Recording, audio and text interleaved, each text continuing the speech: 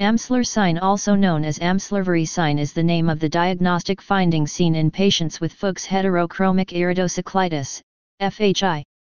It is described as presence of blood, hyphema, in the aspirated vitreous fluid, in paracentesis of the anterior chamber, and is caused due to iris atrophy usually seen in FHI and exposure of the fragile iris vasculature to the vitreous fluid.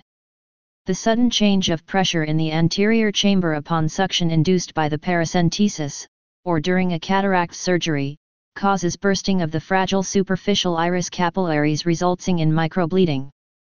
This is one clinical diagnostic sign of FHI.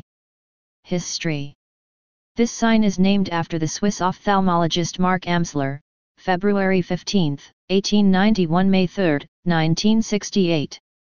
It is sometimes referred to as Amsler-Verrey sign to acknowledge the contribution of another Swiss ophthalmologist, Florian Verrey, 1911-1976. Please subscribe and thanks for watching.